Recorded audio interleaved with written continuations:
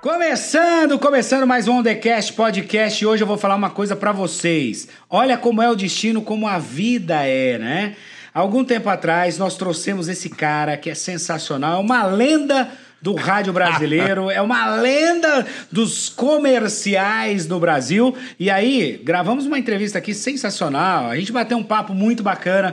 A gente deu risada. Cara, eu dei tanta risada, eu, o pessoal da equipe que a gente, de verdade, deu dor de barriga de tanto rir com esse cara. Aí o que acontece? Quando foi pro ar, deu problema no áudio. É por isso que hoje ele está de volta. Ele, o galã do rádio brasileiro. Seja bem-vindo, João Ferreira! Eita, Rogério! Rapaz, você, você cometeu um pequeno deslize. É, Eu considero aquela gravação como um ensaio. Verdade. Ah, Foi foi pra ver se ficava bom, se valia a pena, Aham. né, se realmente você levaria pro ar ou não. Hoje é pra valer. Hoje não sai daí que você vai se divertir bastante. Bom demais. É Ô, o João, melhor podcast. É isso aí, On The Cast. Agradecer podcast. que ó, tem, tem um serviço de Cerveja, bar. cerveja de bar. Aqui é o seguinte. Tiagão, aqui, Rafinha. É, aqui, aqui é, como é que fala? É, vi- é VIP o negócio, entendeu? Poxa, camarote... Você sabe que a gente, ó, a gente ainda é o seguinte, né? O podcast é novo, né? Nós estamos aí um mês, um mêsinho, né, Rafa? Um mês e meio que a gente tá no ar, assim. E é claro, graças a Deus, a gente já, ó, já evoluímos, você não tem noção. Tanto é que o João Ferreira tá estreando hoje o nosso estúdio novo aqui. Né, João? Eu tenho certeza que vai dar muita sorte, porque esse cara é um cara de sorte. E Mas aí você viu que ainda tá faltando. Não tem uma pizza, né? Não tem um iFood. Primeiro um convidado Habib. desse novo estúdio aqui sou é eu? Você, Olha! É. É. Primeiro convidado. Mas tem aqui um salgadinho que a gente comprou. Tem amendoim. Sabe que amendoim é bom, né? Pra dar um upgrade aí no. Daí, mandar um, um abraço aqui? carinhoso. Atenção, pessoal da PepsiCo. É. Patrocinar Ah, aqui o é- podcast. tô- ô, isso aqui é viciante, né? Adoro. Ó, eu vou fazer merchan de graça, que eu adoro torcida de verdade.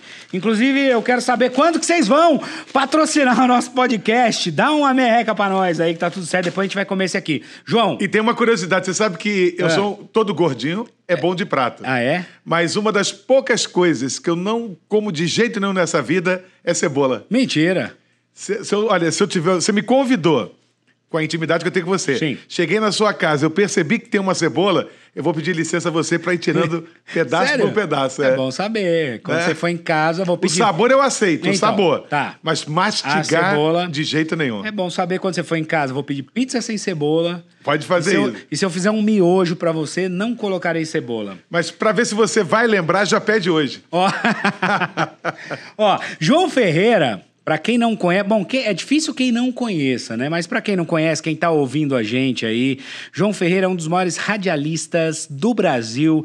Ele que já foi radialista de futebol da Rádio Globo, Rádio Record. Ah, de onde mais? Qual outra? Não, comecei no Rio de Janeiro, Começou né? no Rio, né? Comecei na Rádio Capital do Rio, Ah. fazendo turf. Você é do Rio? Eu sou do Rio, sou de Niterói. É, com esse sotaque, né? Do outro lado da poça d'água.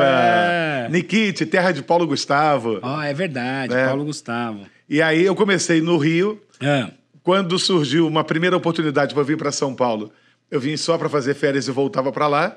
Até que no ano de 96 eu acabei mudando para cá em definitivo. Que bacana. Mas eu tô com 58. Já? Desses 58, eu vivi 32 no Rio. E quantos aqui?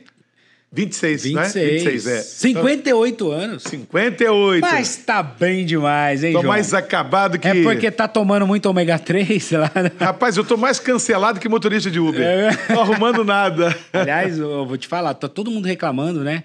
Que a Uber agora tá impossível, né, de você pegar. Então, tá- o que me deixa mais chateado É. é. que quando você tá esperando, falta pouco, eles cancelam. É. Se cancelasse ou nem aceitasse, mas aí você. Outro dia eu precisei num aniversário, É. eu fiquei uma hora esperando. Quatro cancelamentos eu desisti.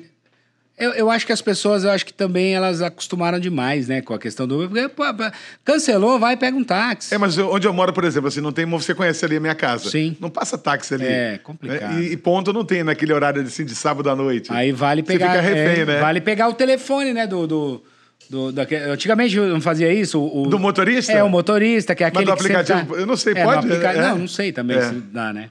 João, seguinte, quero saber uma coisa. Primeira Diga coisa, lá, vamos- Sua história é bem legal, tem muita gente que já conhece, tem gente que não conhece, mas você começou na rádio a sua carreira artística mesmo? Como é que foi? Não, na verdade, assim, eu comecei. Eu sempre quis fazer rádio. Tá. Desde menino, lá em Niterói. Meu sonho era fazer rádio, eu dormia com rádio, acordava com rádio.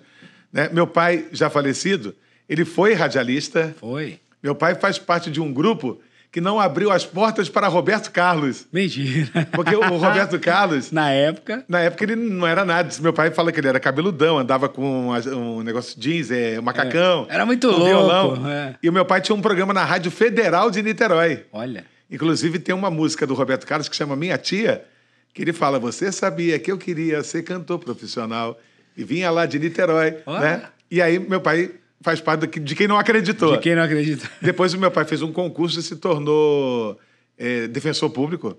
Mas eu acho que eu herdei dele essa paixão pelo rádio. E desde sempre. Tanto é que quando eu tinha 18 anos, o meu o marido da minha prima, ele era um alto executivo de uma multinacional chamada KM KM. que era Companhia Auxiliar de Exportação de Minérios. E aí ele chamou eu e meu primo. Falou: olha, eu vou colocar vocês dois nessa empresa, porque vocês dois vão fazer carreira aqui dentro. Só que vocês têm que começar como todo mundo, Tá. por baixo. Aí ele colocou nós dois como office boy. Você imagina no calor do Rio de Janeiro, em pleno verão, É. eu com 150 quilos, usando aquela calça social, eu gastava metade do meu salário em hipoglós. Meu Deus. né? Eu rodava 20. de- Não sei se você lembra, hoje não tem mais isso. Mas os bancos tinham umas caixinhas na entrada que era correspondência de empresas. Eu tinha a chave de todas aquelas caixinhas e passava em cada banco para pegar Ah, que legal. extrato. E aí, o que, que aconteceu? Eu cheguei para o meu primo e falei: olha, eu vou fazer vestibular para comunicação. Se eu passar, eu vou embora. Aí ele falou: você é maluco? O Jorge colocou a gente aqui, falou que a gente vai fazer carreira. Aí eu passei no vestibular. Pedi demissão sem que ninguém soubesse. Aí chegou no ouvido do meu primo, É. que era alto executivo. Olha, o mais suave que eu ouvi foi vagabundo. Porque era para que você tenha uma ideia, o meu outro primo que entrou junto comigo É. chegou à presidência. Ô, louco. Chegou à presidência da empresa. E eu joguei tudo para correr atrás do, do meu sonho, né? Seu sonho. Que bom, né? Né? E aí fui, fui, mas passei cada perrengue e, e- e percebi. Aí um dia eu fui à, à Rádio Tupi do Rio de Janeiro, É. cheguei no prédio da Rádio Tupi e procurei um diretor chamado Carlos Marcondes. Carlos Marcos. Falei, Marcondes, meu nome é João, eu tenho vontade de ser radialista, não sei o quê, barará. Aí ele falou assim: você tem idade para ser meu filho. É. Eu preciso ser muito sincero para você. Você tem um plano B? Porque assim, eu não vejo nesse papo o menor futuro para você no rádio. Porra, que cara, né? não, me, não me né? parece. Né? Devia ser coach ele, né? Carlos Marcondes, É. já falecido. Eita. Aí eu falei, puxa vida. Aí comecei a buscar outros caminhos. E eu sempre gostei muito de, de corrida de cavalo, de, de assistir. Ah, é? É, Era muito comum onde eu morava. Tinha ali a agência do jockey, tinha viciado. Meu pai gostava muito É mesmo? de corrida de cavalo. Você entende, então, Eu Entendo. Que bacana. E aí comecei a frequentar o jockey e conheci um cara que acabou sendo muito importante na minha vida, que ele me apresentou o chefe da equipe de turf lá do, do jockey. Ah. E eu falei, olha, eu queria ser radialista. E... Né? Aí o cara falou, quer fazer aqui? Aí eu comecei dando retrospecto, né? O primeiro páreo venceu o número tal, tal, tal. O Ah, segundo tá. páreo venceu tal. É tipo o, comentário É. do que rolou. Só que um dia, um dia o narrador, ele teve que se atrasar para não ser assaltado. E aí não tinha ninguém para transmitir. Que loucura. Aí eu fui, né? Atenção, foi dada a partida para o Grande Prêmio Ondecast 2021. Na ponta, Rogério Moreto tem meio corpo de vantagem para a Rafa avançando por fora. Tomou a quinta, quarta, terceira, segunda. Emparelho do domínio vai para a ponta. Mas o Tiagão feito um bólido avança por fora. Sensacional! e aí eu fiquei um tempo no Jockey. É. Só que o Jockey Clube tinha um locutor oficial chamado Hernani Pires Ferreira. Pô, você lembra o nome de todo mundo. O cara também é um, é um- tem um HD. Não, né? é. É. E esse cara um dia me falou assim: ó, quando terminar hoje aqui, nós vamos sair para jantar. Aí nesse jantar ele falou assim: segunda-feira você vai pedir demissão do jockey. Falei, mas por que, Dani? Fiz alguma coisa errada? É. Porque eu tenho mais de, de 40 anos aqui dentro. Isso aqui é um antro de viciado, de jogador, de pilantra. Isso aqui é, é pequeno para você. Você tem talento para conquistar o mundo. Olha. Eu falei, mas e como é que eu vou falar na minha casa que eu pedi demissão? É. Né, meu pai, eu- ele falou, acredita em mim, peça demissão. Aí, mais uma vez, cheguei para pedir demissão. Mais uma vez, ninguém acreditou, porque eu era o que mais crescia, né? Sim. Aí saí. Aí fui, estudava jornalismo na faculdade Hélio Alonso, Tá. né, uma faculdade de comunicação do Rio. Ia ter um curso extracurricular de radiojornalismo esportivo, Ó, que era para ser locutor esportivo. tá. E eu fui fazer esse curso. Que legal. E era muito engraçado porque os alunos, a gente pegava um gravadorzinho e ia para arquibancada. Um gravadorzinho, pra quem não tá, ó, para quem tá só ouvindo o áudio, não tá vendo. Ele fez assim a menção do gravadorzinho, tij- o mais tijolão, ou menos é. do tamanho de um laptop de 15 Você polegadas. chegou a né? lembra desse gravador, né? Da Panasonic? É. Aí nós íamos para arquibancada dos jogos Tá. e, e a gente ficava narrando naquele gravador.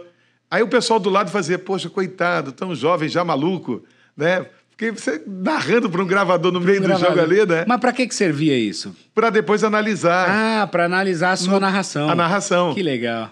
E aí eram, nós éramos 18 alunos. É. E o melhor aluno ganharia uma bolsa numa rádio chamada Carioca, Que legal. que pertence ao grupo da Rádio América aqui de São Paulo. É. E eu tive.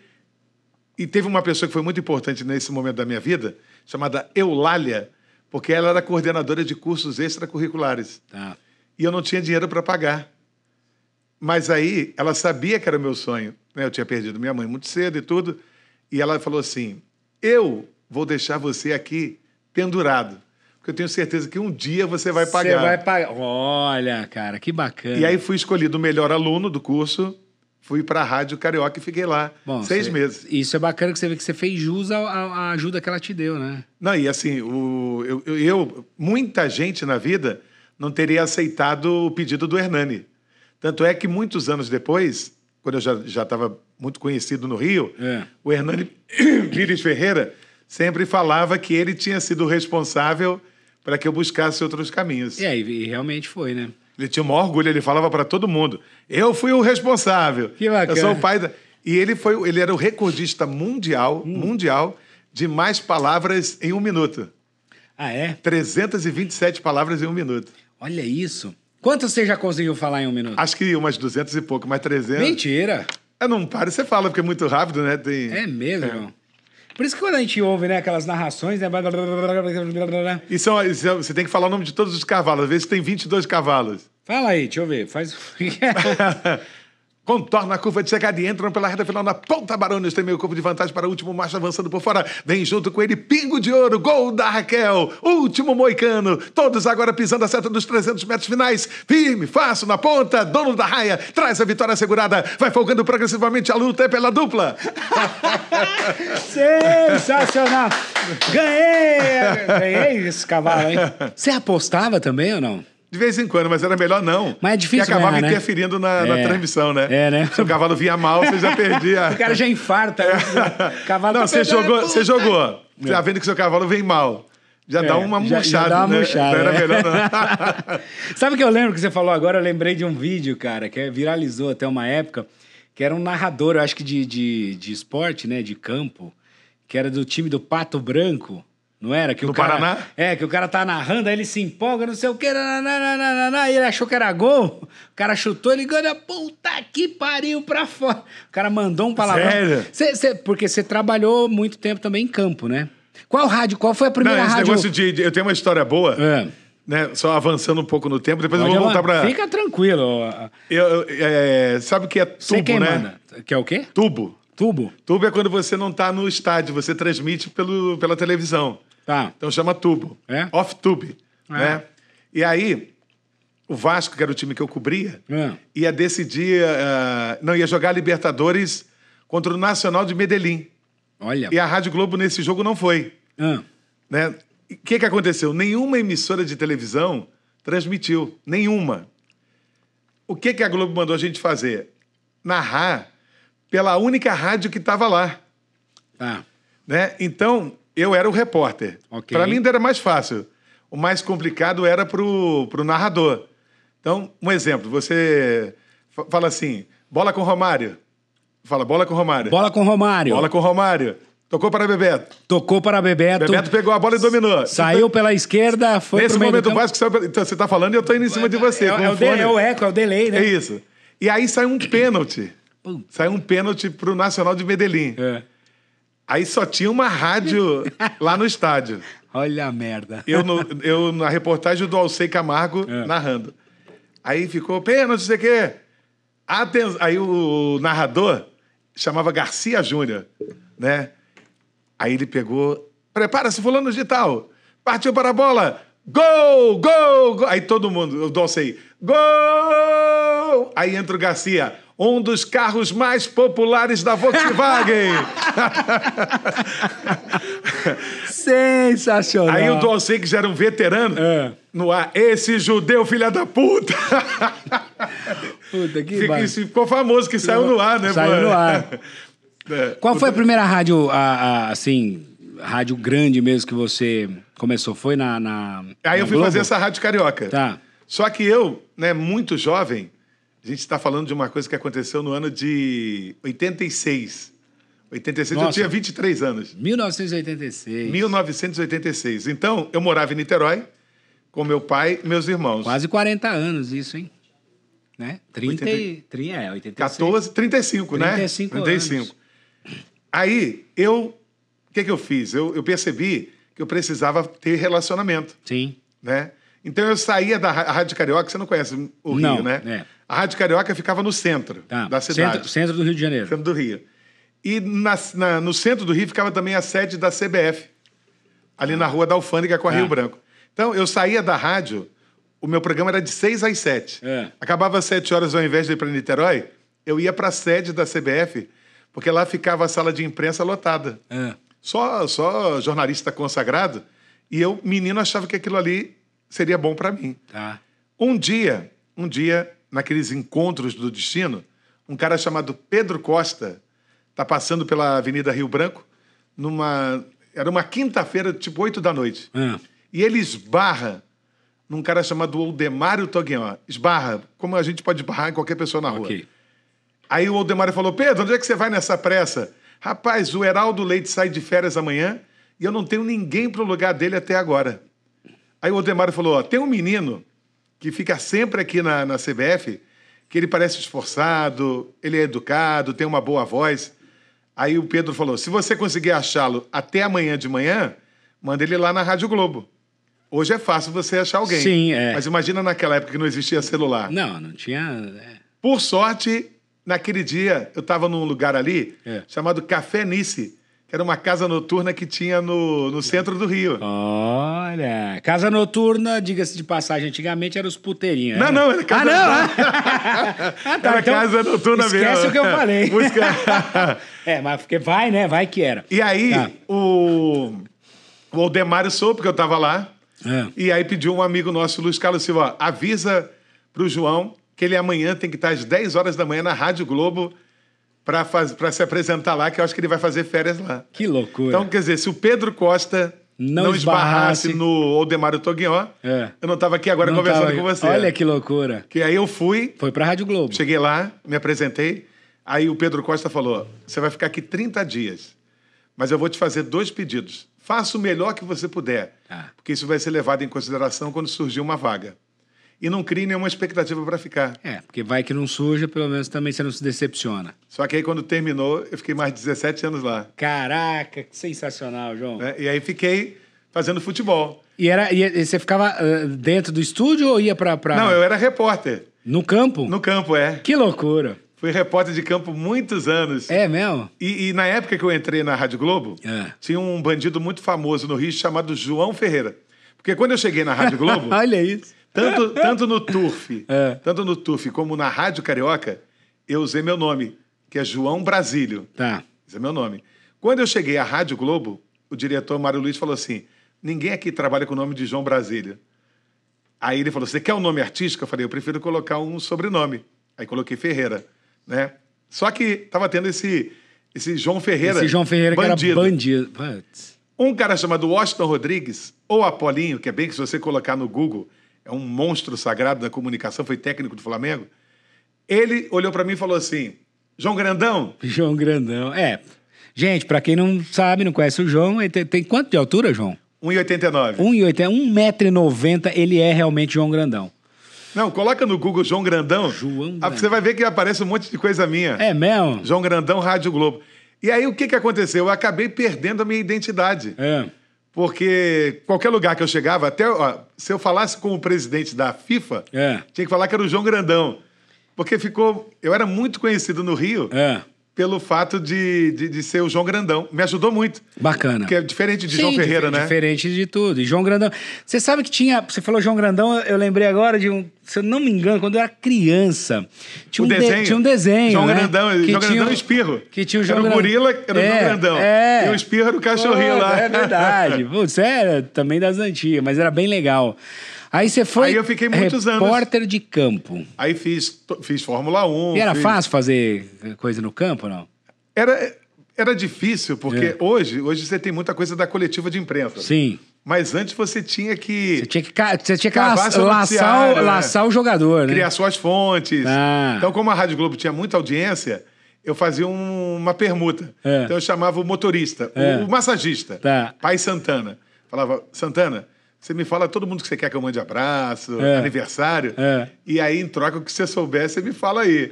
Caraca, Aí, que legal. né? Era, o seu, era o seu informante. Não, tinha né? vários. Tinha Era o massagista, o roupeiro, polícia, né?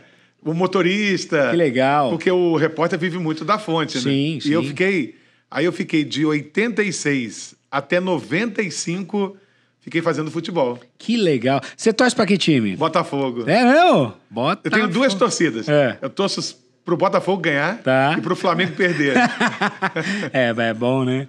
Ô, João, e por exemplo, quando você. é, é, você sempre se deu bem com todo mundo? Na, na- na- assim, com os times, com, com Não, coisa, pelo pessoal? fato de eu ficar muitos anos à frente do Vasco, É. eu era odiado pela torcida do Flamengo. Ah, é? Porque tem a rivalidade. Ah. Então eu, o pessoal falava que eu puxava o saco do Vasco. Ah, é? Achava que eu era vascaíno. Olha isso. Então eu não podia. Sofrer bullying, né? Eu não podia, por exemplo, entrar na Gávea. Ah, é mesmo? É, porque eu, era aquela coisa, minha imagem era associada, Associada como ao- repórter que cobriu o Flamengo, não podia entrar ao, em São Januário, rival, né? né?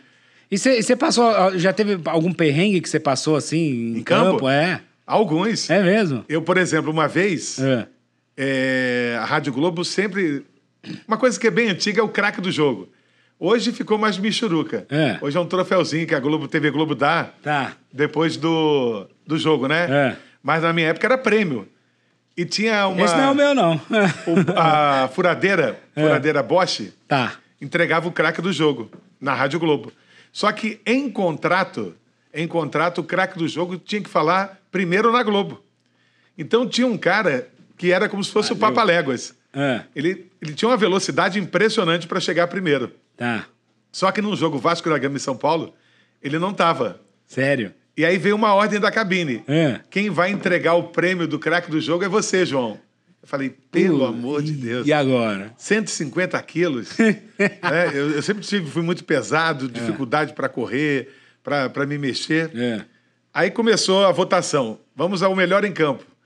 Aí, voto do Apolinho Washington Rodrigues, Valdir. O voto do Heraldo Leite, Valdir. O voto do Gilson Ricardo, Valdir. O voto do, do Denis, Valdir. O voto do João, Carlos Germano. Porque o Carlos Germano era o goleiro. Ah, é? Se ganhasse o Se goleiro, ganhasse o goleiro. para mim era mais fácil. É. Porque eu tava, ficaria do lado da trave. Quando acabar, Olha que eu malandro. ao lado da trave. É, Acabou, é. já tô do lado Já dele. tá do lado, ligeiro. Aí, quando terminou a votação, o, o narrador falou assim: só não ganhou o Valdir por unanimidade porque teve um voto espírita pro Carlos Germano que praticamente não apareceu na partida. Aí eu comecei a acompanhar o Valdir. Um pra lá, pra espírita, cá, é. pra lá, pra cá. De repente o juiz levanta o braço, Márcio Rezende de Freitas, eu saio correndo, pá, pá, pá, olho pra trás, não vem ninguém. Aí falo, Valdir, o que, que você pode dizer aos amigos da Globo depois dessa vitória importante do Vasco por 1 a 0 É. Aí falou, João, o que eu posso falar por enquanto é que o jogo ainda não acabou. Meu Deus. Aí eu desliguei, É. desliguei o microfone. É. Falei, Valdir, não fala isso nem brincando, pelo amor de Deus. É. Aí nisso os jogadores do São Paulo já queriam me, me cercar. Já queria te linchar, né, cara? Aí vieram na minha direção o Bismarck, que jogava no meio campo, o É. Luizinho, que era cabeça de área, e o Ricardo Rocha, que você deve conhecer, É. foi campeão pela seleção brasileira, o Sim. xerife. Falei, xerife, se você me tirar dessa situação, eu fico um ano sem falar mal de você. Porra, João, como é que você dá um. E o juiz já bravo, né? Já, E lógico. a transmissão já fora do ar. Já fora do ar. Porque eu invadi o campo, E né? Invadiu e- e não tinha aquele-. Meu Aí Deus. os jogadores do Vasco foram me levando até a É. beira do campo. Tá. E os jogadores do São Paulo, putos da vida. Pé da vida, é. Aí a torcida do São Paulo começa a gritar: gordo viado, gordo viado. Ai, caraca. Aí eu olho no túnel, É. no banco de reservas, sai o Tele. É. Tele correndo na minha direção. Eu falei, não vai dar, não vai dar bem. Aí o Tele, você deve ter levado uma grana do Eurico, seu filho da puta. Puta que pariu. Então os caras ainda acharam que você era o. o cara que entrou pra O- esfriar pra- pra a pressão esfriar do São pressão. Paulo. Olha que- Mas olha, aquele dia como a foi... vida é. Não, e, e é uma coisa que me marcou, porque assim, eu, eu nunca mais eu vou esquecer a cara dele quando É. eu falo assim, o que, que você pode dizer depois dessa vitória É. importante? Ele falou, o que eu posso falar por enquanto... que não acabou, é que o jogo pô. não acabou. Que mico, hein, João? Caraca, meu. Mas eu tive, assim, muitos momentos... né, é, Uma vez eu estava em Itaperuna, É. e Itaperuna é uma cidade bem afastada do- do- da capital, né? Do Rio de Janeiro. Tá. E tinha um hotel muito pequeno chamado Meireles. Nossa, Você meio- pagava naquela época o ar-condicionado por hora. Seria hoje o equivalente a. Ah, é? Olha, o quero o ar-condicionado por quatro horas. Ô, louco. 20 reais. É. Né? Aí controlava. Aí eu fui tomar banho. Fui tomar banho e a porta do box era para dentro. É. Né? Normalmente a porta é para fora, Sim. essa era para dentro. Aí quando eu terminei de tomar banho, peguei a toalha, não consegui abrir a porta, ela batia na metade da minha barriga. Mentira. Ficou entalado Fiquei entalado. dentro do box. E aí me bateu um desespero, Puta porque tinha que que sair pro estádio. Né? O jogo era. O jogo era 5 horas, isso devia ser umas duas horas. Mentira. Não, e fora que não tinha nem celular pra você chamar alguém, né? Não, aí tô lá no box, sentado esperando. aí entra Meu. o narrador, o Edson Mauro, É. e o, o comentarista, que aliás faleceu até esse ano vítima de Covid, Sérgio Noronha, É. que morreu no Retiro dos Artistas. Olha aqui, um dos caras mais famosos da comunicação. Morreu no Retiro dos Artistas porque o Arnaldo César Coelho arrumou uma vaga para ele. Você vê que Olha que loucura, né? E aí eu tô sentado, aí o Edson, vambora, olha a hora. Falei, Edson, ferrou. Eu não consigo abrir a porta aqui, eu tô preso. E aí? Na hora que eu abro, bate na minha barriga. É. Tem que ter alguém para tirar a porta, para desmontar. Aí ele falou, peraí que eu vou buscar ajuda. Aí trouxe o time do Vasco inteiro. Mentira. Estavam lá uns 10 jogadores no banheiro. Roberto Dinamite, É. Zé do Carmo, Mazinho. Eu falei, todo, acabou minha vida aqui hoje. Aí Que- des- cara- desmontaram a porta, eu enrolado. Eu, eu parecia aquele cara, o velhinho da propaganda do Cotonete, Do você já viu? enrolado na a toalha. toalhinha. Aí fui pro jogo. Aí no intervalo do jogo eu falei, Zé, será que você pode falar com a gente um minutinho? Como não falar com o repórter pit stop que para no boxe? Pô, hoje, hoje seria um bullying pesado, né? Mas você vê que na época era. Pô, jogador mas de futebol não que vale sacana- nada, que né? sacanagem, hein, João? Mas que bom Mas que ó, eu você vê, passei assim, bom, Histórias bacanas, né? O... Tinha um jogador chamado Zé do Carmo. É. Quando chegava o mês de janeiro, era um desespero. Porque férias de jogador, jogador não quer falar com a imprensa de jeito nenhum. Não. Só que você tem que. Eu não sei se você gosta de futebol, Um pouco. mas você vê que no mês de férias de jogador tem Globo Esporte. Sim. Né? Normalmente, hoje eu posso falar, muita coisa ali é inventada, porque eu inventei muito. Ah, é? Eu tenho consciência que eu inventei muito. Olha Interesse por isso. jogador. É. né? Olha, tal clube está interessado. É, tá é interessado. pra, pra gerar notícia, né? Aí eu falei, Zé, me faz um favor. É. Será que no domingo eu posso ir para sua casa para eu vou colocar um chama chamava maricota. É. Era um aparelho que você tirava o bocal do telefone, metia duas garras e e, vi- e ficava com o microfone. Ah, é? Não sei se você chegou a ver. Não, não, não. Era o bocal e você metia ali. Ok. E ficava com som de microfone. Tá. Eu vou meter uma maricota e vou levar dois retornos para abrir o telefone para os ouvintes e você ficar conversando com os ouvintes. É. Uhum. Ó, quem quiser bater um papo com o Zé do Carmo, tá aqui. Aí, que horas você vai estar lá em casa? Falei, vou chegar na sua casa uma e meia. Falou, tô te esperando. Tá. Aí cheguei, aí tô lá, pá, pá, pá, três e meia, quatro e meia, cinco horas, chega o Zé do Carmo. Meu Deus. Com duas fieiras de, de caranguejo. Caranguejo. Aí eu falei, pô, Zé, você marca comigo uma e meia da tarde? Tá chegando 5 e meia. Aí ele jogou no chão as duas e falou: Você acha que é fácil trazer isso solto do mercado até aqui? Pô,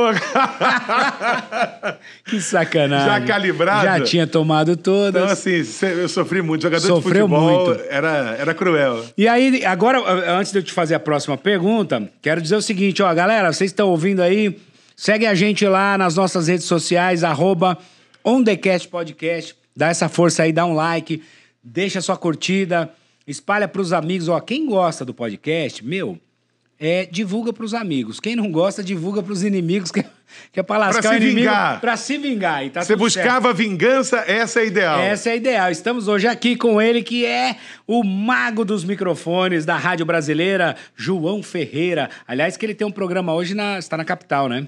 Na capital. Todos os dias. Tamo junto. Tamo junto. Agora, João, Com seu amigo Padre com Juarez, o Padre Juarez. Padre Juarez é sensacional, meu amigo mesmo. motoqueiro. E depois, ele é. Ele chega, às vezes, quando eu gravava lá na, na Rede Vida, ele chega lá com a motinho dele, tem uma scooter lá, chega lá, parece a formiga atômica, com aquele capacete na cabeça. Verdade, cara. É legal demais. E aí, depois que você saiu da. da, da- Aí da- eu fiquei fazendo futebol. do, do futebol, aí, aí você que- foi para pro entretenimento? Como é que Então, foi? não, aí surgiu uma vontade. Hum. Eu comecei a conviver ali com grandes comunicadores. Aham. Eu não tinha ideia do que era ser um comunicador, mas Tá. eu comecei ali na Globo a conviver com.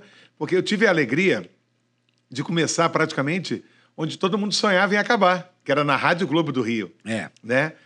E aí eu cheguei para o diretor e falei assim: Ô Guilherme, posso virar comunicador? Você tá maluco? Né? Você é um nome importante do esporte, não sei o quê, barará. Ah, mas eu gosto, me deixa.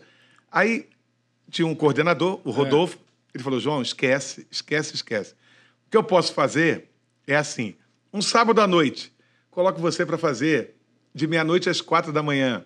Meu Deus. Horário nobre. Carnaval, carnaval, coloco você para fazer um, um dia de carnaval. Tá. Mas virar comunicador, esquece. Só que eu fiquei lá batendo na sala, né? Aí um dia, foi o segundo encontro que mudou minha vida. Ah, é? O primeiro foi do Aldemário Toguinhó Ok. com o, o Pedro Costa. E esse foi o segundo. Eu estava na sala do Guilherme, tocou o telefone, era o diretor da Rádio Globo de São Paulo, Olha. falando assim: Ô Guilherme, o Paulo Lopes vai sair de férias. E eu não tenho ninguém para fazer as férias dele. cara. Você tem alguém no Rio aí que você Pronto. possa mandar? Ah, cara. Aí ele falou: tá aqui na minha Tá frente. aqui. Ah. Só que depois eu fui, fui descobrir Hum. que ele me colocou para me queimar. Porque quando eu cheguei em São Paulo, que eu entendi o que, que era a audiência do Paulo Lopes. Uhum. Paulo Lopes era, tinha 400 mil ouvintes por minuto. Ô, louco. E eu não tinha experiência nenhuma de ser comunicador. Nenhuma. Fiquei, fiquei uma semana convivendo com o Paulo Lopes. Saí, Paulo Lopes falou: olha, boa sorte, conta com a equipe, tudo de bom até a volta. Entrei na igreja de Santa Cecília, ali perto do metrô Santa Cecília, tem uma igrejinha ali. Tá. Sabe onde é? Sei. E entrei na igreja e falei: olha, Deus, não estou preparado. Se o senhor quiser que eu faça, eu vou fazer. Mas não estou preparado. Aí, quando chegou na segunda-feira, o Paulo Lopes estava no estúdio. Ah, Porque o irmão dele teve um infarto e ele acabou cancelando as férias. olha isso. Só que a gente passou uma semana convivendo. Sim. Então a gente criou uma amizade. Criou uma amizade. Aí ele falou: a partir de agora, então, toda vez que eu me afastar, você vai vir para São Paulo fazer. Só que eu não vou tirar mais férias. Eu vou tirar feriado prolongado. Ah. Então tinha assim um feriado de quatro dias, ele Tá. tirava aqueles quatro E dias. você fazia? Vinha. Comecei a vir para todos os feriados e até para outros comunicadores. Aí a Globo do Rio falou: tem alguma coisa errada. Porque, por que que São Paulo está chamando o João toda hora É. e aqui ele só faz futebol? É. Aí o, o apresentador do show da madrugada pediu para sair. E me chamaram para ficar. Pra ficar. Fazendo um programa chamado Show da Madrugada, que era de meia-noite às três. Que legal. Aí eu fazia simultaneamente o futebol É. e fazia o show da madrugada. Só que depois veio o convite de São Paulo e eu preferi vir para cá. Pra ficar full time aqui. Aqui, é. Eu Que gosto legal. daqui pra caramba. Que legal. Eu Mas- vim, assim, desde a primeira vez que eu vim, já vim com desejo de ficar. Que bom, Né? que bom. Aí ganhamos o João aqui, né? na- E aí foi aí que você começou a conhecer tudo quanto é artista. Porque é o seguinte, gente, pra quem não sabe, João Ferreira é um cara que tem amizade com. Eu nunca conheci nenhum artista, principalmente da área musical, que não tenha a amizade com João Ferreira. Vou até contar um lance aqui Que essa eu vi com meus próprios olhos. Você foi testemunha ocular da história. Testemunha ocular da história. Pô, estava lá na TV Gazeta gravando lá o programa Mulheres, quando eis que de repente o convidado do dia era o cantor Fagner. E aí. Não, era aniversário do Era Mulheres. aniversário, sim. Tinham três convidados. Tinham três, é verdade. Mas tava, tava o Fagner lá. E chega ele lá, todo cheio de marra, com a equipe dele, tal, tal, tal. Quem dera ser um peixe. Quarentena livre do aquário mergulhar. Eu era muito fã dele, inclusive, né? Porque eu adorava essa música. Gente, Fagner chegou, não quis tirar foto com ninguém, não deu moral pra ninguém, ficou lá no canto dele lá, entendeu? Recluso. Aí entrou pro estúdio com o violãozinho lá, a galera tava é, sentada aguardando o, o- o intervalo do programa. Na época era a Kátia Fonseca que apresentava ainda. E aí daqui a pouco a gente fica, geralmente, antes de entrar pro merchandising, para quem não sabe, você tem o cenário do programa, aí tem o backstage atrás do cenário, tem ali umas cadeiras, fica o pessoal sentado, esperando lá. E chega o Fagner e senta ali do lado num banquinho. Algumas pessoas foram lá querer tirar foto. Não, não, agora não, não sei o quê, tal, tal, tal, tal. Chato pra cacete. e foi pro comercial. Entrou pro break, a Kátia veio, a Kátia Fonseca. Ah, tudo bem, você já chegou, aquele jeito dela. Aí Ele, ah, tá, tá, tudo bem. Com ela ele falou, né? E tal. E aí ela falou assim: ó, daqui a pouquinho, voltando, aí já é você que vai entrar. Você vai cantar pra gente, né? Falou brincando. Ele virou e falou assim: é, depende, se o pessoal aqui ficar quieto, se todo mundo fizer silêncio. Ele foi mala com todo mundo. Aí todo mundo já tava morrendo de raiva Mandou dele. o gato segurar o microfone pra ele. Mandou, não, aí Pra já, tá- aquecer, já né? tava todo mundo puto. Todo mundo já queria mandar o Fagner pra puta que pariu. E aí, eis que de repente, Fagner tá lá, aparece quem? João Ferreira. Cara, foi sensacional. Porque a única Não, pessoa. a Camila. É. A Camila A única- virou pra mim e falou assim: A Camila era. João, senta aqui, É. não fala nada, porque eu não quero que você se magoe. É. Porque você gosta de, de, de ser eh, gentil De abraçar com todo mundo. todo mundo, ser gentil com todo O mundo. Fagner tratou mal todas as pessoas. Então É. senta aí, fica calado, É. porque eu não quero que você se decepcione. Pois é. Só a que- Camila, ela fazia o controle ali Ela do, fazia o- é, do Merchan. Exatamente. Ela, Ela tá que- morando fora do Brasil? Não, acho que não. Não, né? Se eu não me engano, ela tá na, na Band. Na Band, ah, é? Band com a Kátia. E foi exatamente isso. E aí, a hora que o Fagner virou e viu que o João Ferreira tava ali, ele abriu os braços e falou: Meu amigo João Ferreira. aí, fala- aí todo mundo, que filho de uma puta, cara. E aí foi lá, abraçou o João, falou sorriu. tirou foto. Foi o primeiro sorriso que ele deu, foi com o João. E tirou foto, fez uma festa. Muito bem. Nesse mesmo dia estava lá o Daniel. Daniel, simpaticíssimo, né? Outra pegada. Simpático pra caramba, foi lá, tirou foto com todo mundo, curtiu, tal, tal, tal, fez, enfim. E aí, o João tinha feito o merchan, que o João estava fazendo naquela época, os comerciais lá, os merchans da Ultra Farma. Exatamente, é. Fez o merchan e voltou lá pra sala VIP, que é o camarim que a gente fica esperando. Daqui a pouco tava o Daniel no ar. E o Daniel lá cantou uma música e tal, e no intervalinho da música, a Kátia veio, ai, que legal, conversando com ele, iria pra próxima música, programa ao vivo. Daqui a pouco ele tá aqui no estúdio, entra o João, lá na ponta. Ele parou a, do nada a entrevista e falou: peraí, peraí, quem, ó, quem tá. Meu amigo João Ferreira. Ficou bravo, é. Meu irmão, o diretor no ponto assim, tira o João do estúdio, que ele tumultua as pessoas. cara, mas Nem ia ter que descer pra partir o bolo é, e ia dar- é. E aí o cara também, poxa, e ele é seu irmãozão mesmo, Ele né? é um dos melhores amigos que eu tenho. É mesmo? Assim, de- eu vou a Brotas, fico na casa dele. É. Né? Cria até problema de família. É. Porque o- a minha irmã é casada com o Sérgio Reis, né? Uhum. E aí o, ela- o pessoal me vê muito ligado. a- Aí eu falo, não, os dois, eu adoro os dois. Um é meu cunhado, outro é meu irmão. Cunhado tá rebaixado, né? Uma coisa é uma coisa, outra coisa é outra coisa. né? Porque o, a, a- história é muito curiosa. É. Eu conheci o Sérgio É. antes de conhecer a minha irmã. Ah, é? Conheci primeiro o Sérgio. Ué, como assim? Porque eu não sabia que eu tinha uma irmã. Vocês foram pra balada junto. Não, o- a minha irmã Tá. descobriu, por acaso, já adulta, casada, É. que o pai que a criou não era o pai biológico dela. ah, é? E ela começou a procurar. Até Que- que, até que um dia ela ligou na minha casa e falou: Doutor Flávio, É. o senhor não se assusta, não se preocupa. Eu já sou uma mulher realizada, independente, É. mas tudo indica que eu seja sua filha. Olha isso. Só que ela já era. Notícia boa, né? Eu já, não, eu já era amigo do Sérgio. Ah, é? Então eu sou o caso de quem conheceu primeiro o cunhado, Cunhado do que a depois- irmã. Olha que loucura. Como a Né? vida é, né, cara? Né? E aí o Chororó fala que isso aí um dia tem que virar livro. Tem que virar livro. Porque a minha irmã, quando começou a se aproximar do meu pai, É. ela falou: pai, eu sou. Can... Você conhece a Ângela, minha irmã, né? Conheço. Uhum. É casada... Ela é back vocal. Ela falou: eu tenho um grupo chamado 4x4 e eu vou me apresentar hoje numa casa em Ipanema. Queria que o senhor fosse lá assistir para me conhecer cantando. Sim. Aí meu pai foi. Quando terminou o show, ela falou: pai, o senhor me perdoe, eu não tenho nem esse direito, mas eu não posso negar que fiquei triste. Porque eu convidei para o senhor me ver cantando. E o senhor passou praticamente a noite falando com a esposa do meu empresário, É. do Macedo. Então, assim, eu queria que o senhor me visse cantando, o senhor fica falando com a esposa do Macedo. É. Aí meu pai falou: é porque a esposa dele é minha filha, Leonora. Olha. Então, a mulher Cara, do empresário dela era a irmã dela também. que isso, cara. Que loucura. Ela era. O empresário, O empresário era cunhado é dela, cunhado ela não dela. sabia. Não, não, não parece roteiro do. Como chama aquela série lá que tem uns negócios muito loucos da Netflix? É, o Black Mirror lá, Black Mirror.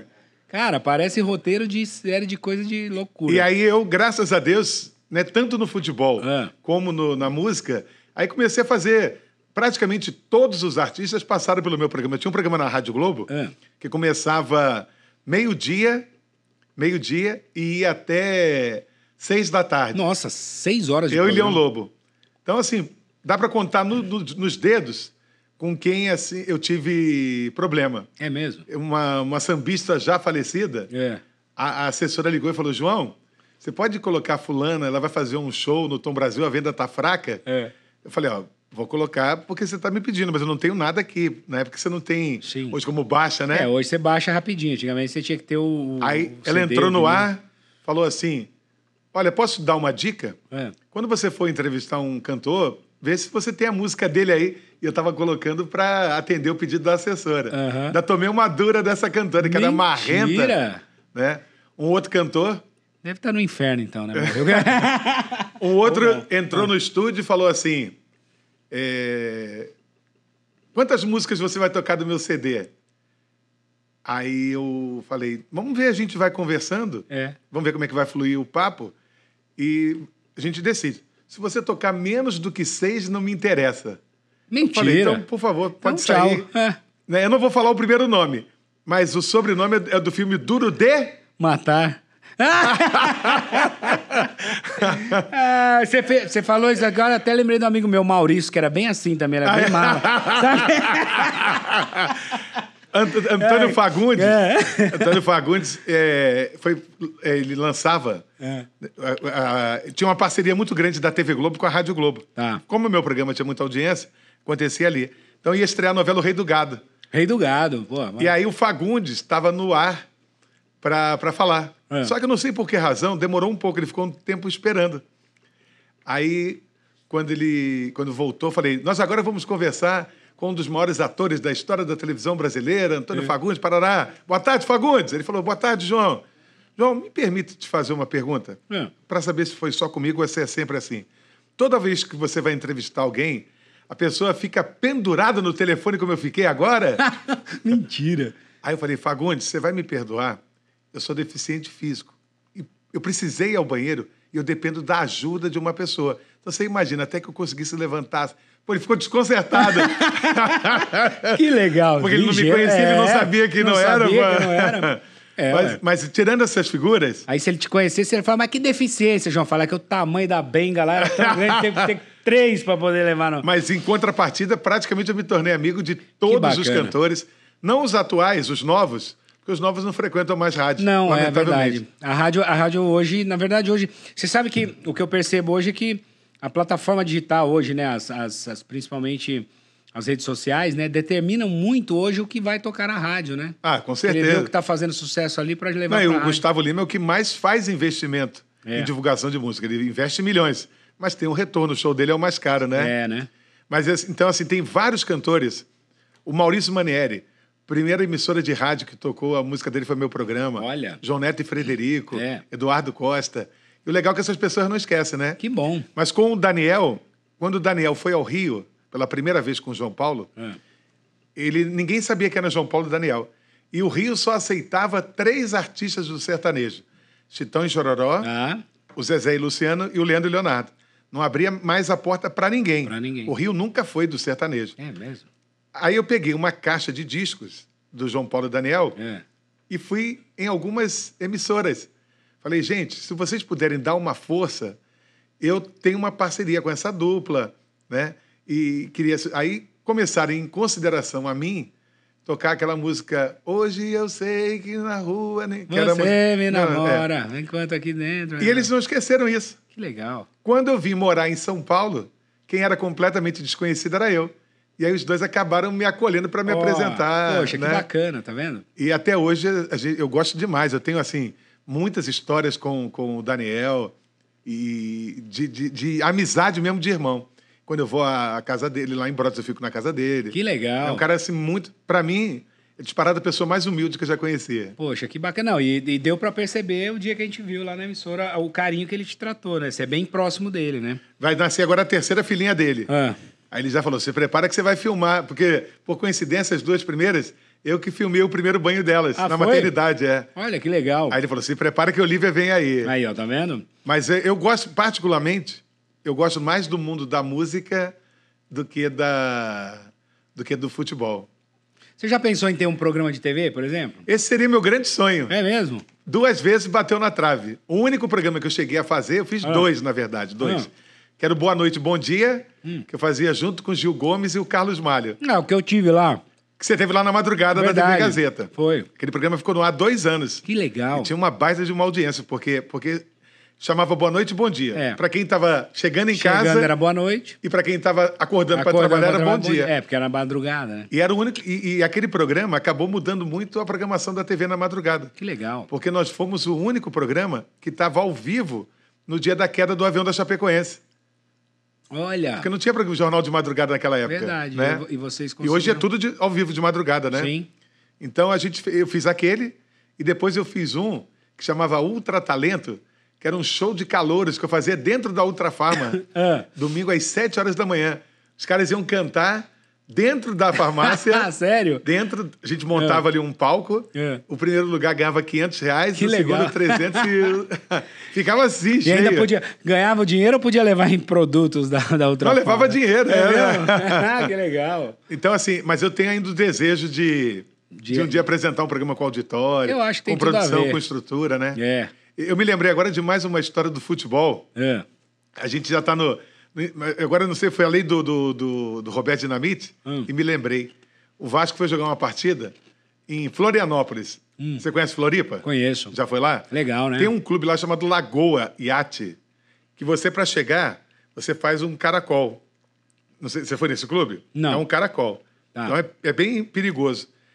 E eu estava aprendendo a dirigir nessa época. Meu Deus. Hum. Estava aprendendo. Só que ninguém podia. Se alguém batesse com o carro da Globo, dava um B.O. danado, né? Tá. O Roberto Dinamite, você conhece o Roberto Dinamite? Jogador. Maior artilheiro da, da história do Vasco, do Campeonato Brasileiro.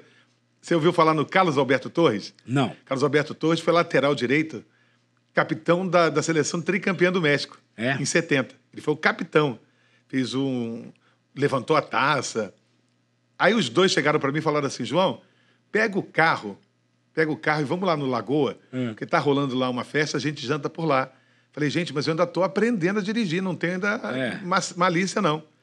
Não, não, pega o carro, pega o carro, a gente vai te orientando. Aí fomos eu, o Roberto Dinamite, É. o Carlos Alberto Torres e o João Guilherme, que é narrador da Fox Sports. É. Ele tem um bordão até bem famoso aí, é bem conhecido o João. Nós quatro num Voyage. Meu Deus. Aí eu engatei a primeira É. e esqueci de passar a segunda. Putz. Então eu fui assim uma De distância. primeira. eh, Aí o- eles começaram. Quase a- fundindo o motor, né? Na- aí o Roberto estava do meu lado e no banco de trás o João Guilherme e o Carlos Alberto. É. Aí eles. Não, devagar. Agora bota, bota o pé ali, puxa. Meu Deus. que Só coragem. que quando Ah. a gente chegou no Lagoa, eu falei, gente, e agora? E agora? Aí eles falaram assim: vai bem devagar, vai a 10, que vai dar tudo certo. Vai a 10, mas vai direitinho. É. Aí eu comecei. É. Só que eu comecei a ficar nervoso, É. então o carro começou a sair um pouco. Aí o Roberto Dinamite gritou: Nós vamos morrer! Aí o Carlos Alberto, não grita que é pior! Cara, imagina o, nerv- o nervoso dos caras ali. Eu falei, ó, pô, mas nunca mais eu fiz essa loucura. Imagina se eu mato ali o capitão do Tri Mo- e o maior artilheiro da história do Vasco, Van. Quem, por por exemplo, dessa época, quem que você considerava assim? Eu sei que tinham vários, né? Mas um, um jogador que você achava sensacional, que você falava, puta, esse é um dos melhores. Um cara que foi meu irmão, assim, É. Bebeto. Bebeto? O Bebeto, a gente fez uma amizade, Hum. porque o Bebeto, ele teve muitos problemas físicos. Ah, é? E a imprensa pegava muito no pé do Bebeto. Teve um jornal que colocou uma foto do Bebeto inteira e foi falando assim: tem problema aqui disso, disso, disso, Mentira! o corpo dele inteiro. Olha que sacanagem. E aí eu saí em defesa dele. É. Aí ele ficou grato. Aí ele falou assim: ó, a partir de hoje você é meu irmão. Que legal. Então, o que, que aconteceu? Quando ele foi vendido para a Espanha, ele falou: que horas é o seu programa? Seis horas. Ele falou: vai para a churrascaria, Cruzeiro do Sul, que pede para abrir com você, que eu vou dar a notícia que eu assinei com La Corunha.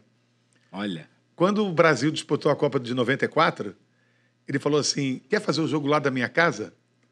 Porque ele nasceu o filho dele durante a Copa. Ah, Por isso que ele fez aquele gesto. entendi. daquele- o gesto né? é que ele fez Aí ele falou, eu de falava- balançar um bebê. né? Aí ele falou: Quer fa-" eu não fui para a Copa, fiquei aqui no Brasil. Tá. E quem ficava aqui fazia a torcida, bares, Isso, ruas. é, é. Aí ele falou: Você quer ir para minha casa? Só você.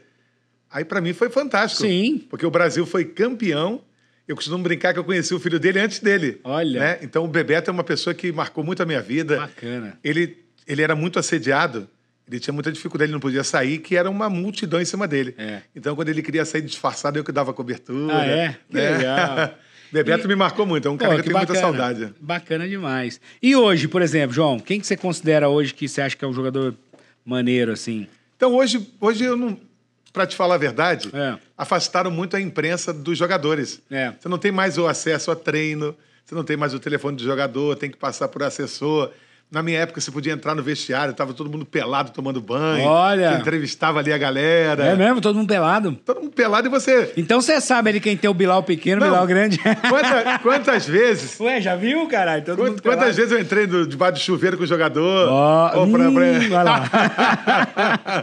Bom, É, mas é- era comum. Era né? comum, né? Hoje não, você não entra mais no vestiário, tem que ser coletiva de Mas imprensa. tinha, assim, não precisa dar nome, mas tinha uns caras meio decepcionantes mesmo que você falava. Não, nem olhava né? nisso. Você não olhava, irmão? Tinha um cara lá, tinha um repórter É.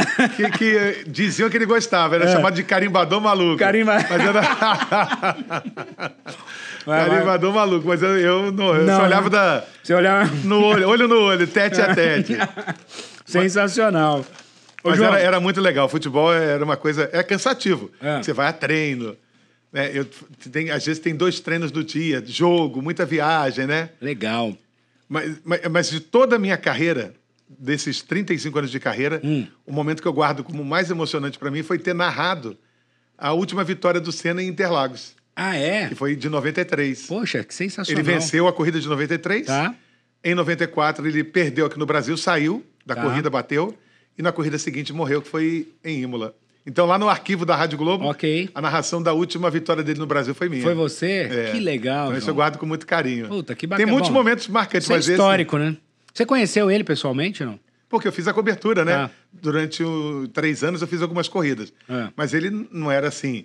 Era um gênio, mas não era aquela figura simpática. Ah, tá, é. Reza a lenda que ele era, era bem O Piquet, o Piquet era mais né? sincero, o Piquet não gostava mesmo. É. Mas não escondia que não gostava. Né? não. o Senna ele tinha assim, um carinho maior com a imprensa japonesa, com o Galvão. Né? Hum. Entendi. É. Mas assim, quem não era tão famoso como eu e outras pessoas já era tratado de uma outra maneira. Babava o ovo do Galvão. mas foi um gênio, né? Pô, foi sensacional, né? Tanto é que até hoje é reconhecido no mundo inteiro, né? Mas assim, eu particularmente gosto mais da música. É. Então, tanto é que nunca mais eu voltei. Já recebi proposta para voltar para o futebol. Por exemplo, na música sertaneja, que você- eu, eu vejo que você tem muito contato com esse mundo do sertanejo. Quem que você a- considera também, tipo, que você fala, meu, essa dupla, esse cantor é um dos... To... Eu, Chitãozinho e. Chororó. Chitão e Chororó, né? Eu tenho uma, uma passagem com É- o Chitão e Chororó, É. porque eu, eu fui apresentar um show deles no Rio. É, E aí eles tinham um segurança, segurança, chamado Osni, é. E esse segurança falou assim: no momento que você anunciar, você sai do palco. Você falou, Chitãozinho e Chororó, sai daqui que ninguém fica no palco com eles. Aí eu chamei o, fotógrafo, é. chamei o fotógrafo deles, e, e falei assim: é, fica preparado, na hora que eu anunciar, bate a foto que eu não vou poder ficar mais do que a entrada deles. É. Aí veio aquela coisa, contagem regressiva, 5, 4, Chitãozinho, chororó. Aí apagou a luz. Como eu fiquei no palco, eles ficaram atrás de mim, tudo escuro e cantando. Diz o poeta, mas tudo É, apagado. Tudo apagado. Aí veio o segurança e me deu um soco. Eu não falei que era pra você sair. Pô, apanhei do, do é segurança. mesmo, cara. Aí o tempo passou. É. Eu vim pra São E eu Paulo muitos sofri anos. calado. É. Aí eu vim pra São Paulo É. e contei essa história pra eles. Pro Chitão e Chororó. É, falei assim, sabe que a primeira vez que eu vi vocês eu apanhei? Eu apanhei por causa de vocês. Aí né? eles iam fazer um show no Olímpia, É. naquela noite. Aí eu fui ao show. Eles pararam o show, desceram, vieram na mesa me cumprimentar. Então, uma coisa. E, e Chi- eu tenho mais amizade com o Chitão. Sou, sou goleiro do time do Chitão. Então, assim, é mais um artista que eu gosto demais, o Chitãozinho. Cara, e eles, assim, pra mim, de verdade, eu acho uma das duplas mais sensacionais em questão de, de, de carisma, de coisa. E, e, a- Divisor de águas, né? e afinação. O, o- meu. A voz do Chororó é Não, brincadeira. o Chororó é monstruoso. Eu fui, eu, eu tava, eu fui uma vez é, num festival em Uberlândia. Eu tenho uma amiga que mora lá, e na época, inclusive ela já foi assessora de imprensa, até de duplas sertanejas e tal, a Gabi. E uma época eu fui pra lá visitar e a gente foi num festival que tava tendo lá, e, e nesse dia ia ter, tinha um camarote lá, ia ter o show é, do Bruno Marrone e Chitãozinho e Chororó. Foi a co- E o dia anterior teve algumas outras duplas, inclusive Fernando Sorocaba, etc e tal. Eu assisti o show, legal, Fernando Sorocaba, maneiro. Tinha mais uma outra dupla que eu não lembro agora o nome. Ah, teve Marcos e Belucci, poxa, também que eu acho eles bacanas. Mas é impressionante como, cara, quando o Chitãozinho e Chororó entra e começa a cantar, a voz do cara é uma coisa absurda, porque ele tem uma afinação e uma colocação de voz a exigência perfeita. dele. Não, mas do começo ao fim. O cara, o cara já faz- conversou com ele? ele faz, não, ele faz duas horas de show, a voz do cara tá igual. Parece que ele não, não, não cantou, sabe? Tipo, não, não tem diferença. E o cara é afinado, assim, extrema. E você pode entrar no, no camarim depois do Tem show nada aqui. e ele vai falar que não gostou.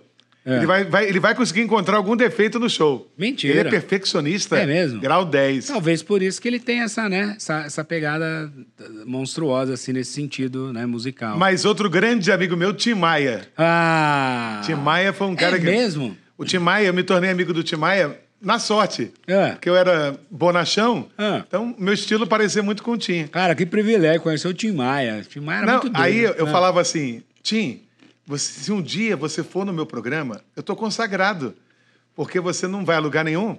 Aí ele falava assim, eu vou no seu programa sexta-feira. É. Aí a Globo colocava a chamada. Nessa sexta-feira, o show da madrugada recebe o Tim Maia, não sei o quê. É. Não apareceu.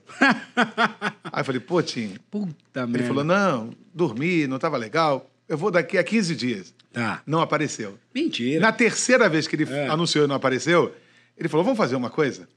Pega um, um operador, É. vai lá para casa e a gente grava lá, grava lá no estúdio e você leva para colocar no ar, porque o que É. você quer é uma entrevista. É. Né? Grava lá em casa. Hum. Aí eu fui para casa dele. A ideia é que eu ficasse uma tarde lá. Hum. Sabe quanto tempo eu fiquei? É. Três dias. Mentira. Três dias. Como assim, João? Porque ele gravava um pouquinho, É. dava fome. Gravava Gravava um um pouquinho, pouquinho. precisava dormir. E eu queria fazer uma entrevista de três horas. Tá. Então, levou Você três Gravou dias. de 10 em 10 minutos o negócio mesmo. Não, e a casa dele era assim: era, uma, era um sobrado, É. um sobrado. Aí, atrás do sobrado tinha uma área, e atrás dessa área, outro sobrado. É. Nesse sobrado de trás, É. embaixo era o estúdio da banda Vitória Régia. E em cima era uma escolinha de crianças carentes da região que ele bancava. Ah, é? Ele que bancava. Que legal, ó. Aí, nesse dia que eu fiquei na casa dele, É. falei, Tim, fala a verdade, por que razão você não vai no show se é grana que vai entrar? Ele falou, ainda bem que você está aqui, que amanhã você vai ver. Aí nós fomos pro, naquele jeitão dele. Sim. "É, João Ferreira, sei, amanhã você vai ver, não sei o quê. Aí nós fomos pro Imperator, que era uma casa de espetáculos. Nossa, famosa, né? No Rio, no Meia. É. No momento que a gente colocou os pés lá, veio um oficial de justiça.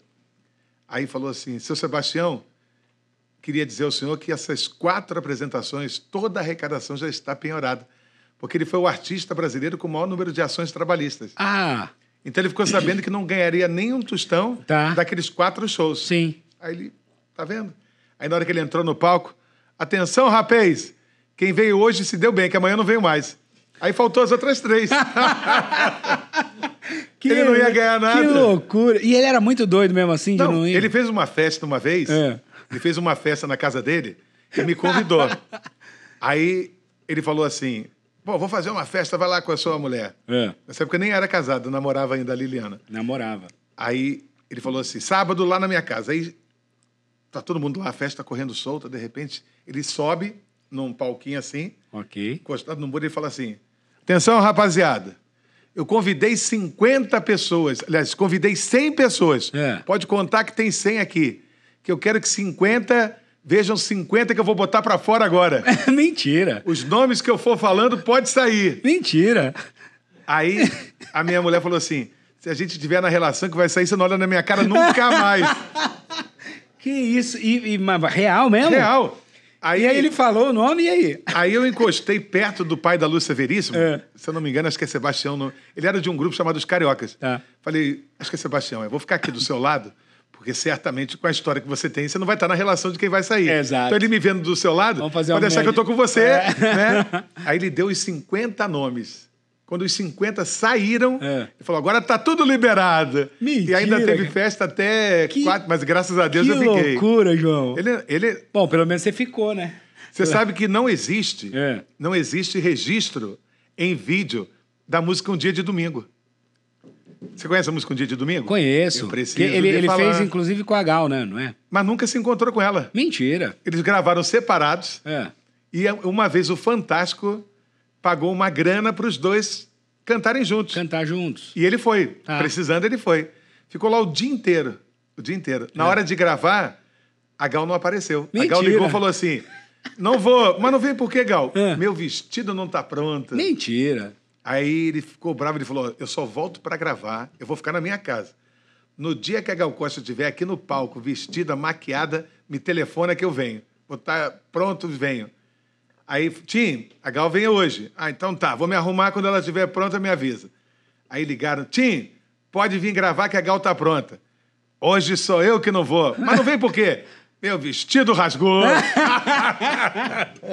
Ai, cara. Ele era sensacional. Ele era vingativo, né? Não, ele, é- é. ele, ele detestava o Figura. sobrinho dele, o Ed Mota. É. Falava que era invejoso. Bom, mas quem pô, não. Tem muita gente. que Bom, sei mas lá. o- não, o tem uma outra história maravilhosa com Ah. ele.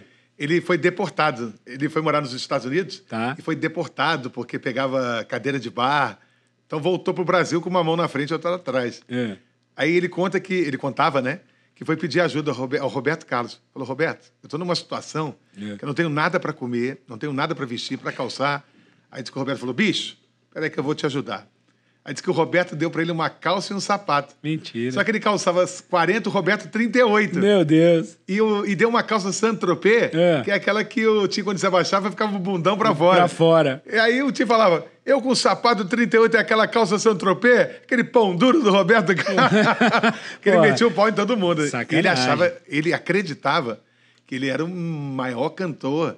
Tanto é que ele não gostava que mixassem as músicas dele, discos, isso tudo. É mesmo. Aí a gravadora às vezes fazia escondido dele. Ah, Porque ele tinha que ser ele, ele era É. muito exigente. paranoico. Mas eu gostava muito dele, eu sinto saudade dele. Tim. Maia. E teve uma época também que ele estava bem envolvido. Ele não tinha uma, uma Ah, negócio brisa, dessa época eu não conhecia uma ele ainda. seita dele. Que Universo em desencanto, É, né? não, é muito louco, né, cara?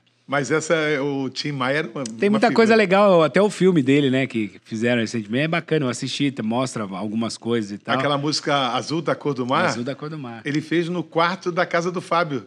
O Fábio que cantava Estela, em que estrela você se escondeu? E na- no quarto do Fábio É. tinha uma- um quadro Ah, é? de mar. E aí, olhando para aquele quadro, ele fez a música Fez a música. Azul da Cor do Mar. Que legal. Né, tinha, é Pô, e um fantástico. puta de um sucesso, né, cara? Pô, essa música é linda, linda, linda, né? E ele, bom, é que também tem isso, né? Tem a história toda da. da- ele ele, é, com as drogas, né? Ele Também, era mesmo. Ele era, ele era. Era mesmo. Esbaurete, né? É. Só quero chocolate. Só quero chocolate.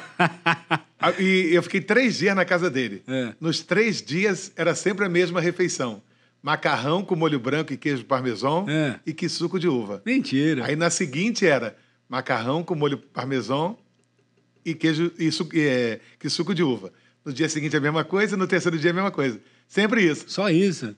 tinha que ter queijo parmesão, tinha que ser molho branco e que suco de E uva. que suco de uva. Na hora que eu saí de lá, eu falei, pô, me dá um...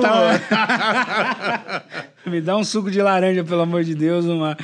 Que legal. Mas um né? dia, um dia Olha eu acho que ainda vou colocar essas lembranças, porque são Paranoia. 35 anos de carreira, Meu Deus. né? Tem muita coisa assim. Você tem que escrever um livro, João. Zé Augusto, Zé Augusto. eu tenho, eu tenho um abraço. Zé Augusto quem? O, o, o- cantor. O, cantor. é. O cantor. Tem o produtor também, né? José Augusto. Não, aquele é o César Augusto. né? César Augusto, é O verdade. Zé Augusto chegou. É, sei pra caralho, né? Tem uma e pior coisa- que eu conheço, velho. O pessoal é, que eu não lembrava. Que é marca minha, que é o abraço. Zé, Zé Augusto é o, é o da música.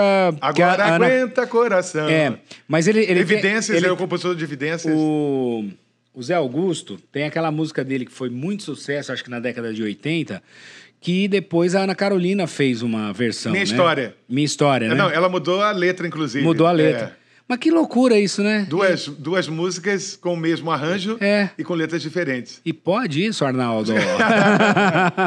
Mas aí ele chegou É. e, e uma coisa que é muito minha é o abraço. Eu gosto de É. abraçar e me jogar, né? Verdade. Jogar assim. E ele entrou no estúdio, eu levantei. Zé, que saudade. Aí apertei com vontade. É. Só escutei aquele crack. O óculos dele estava dentro da, Puta merda da camisa. da camisa. Até Quebrou. hoje quebrou o óculos todinho. Ô, João.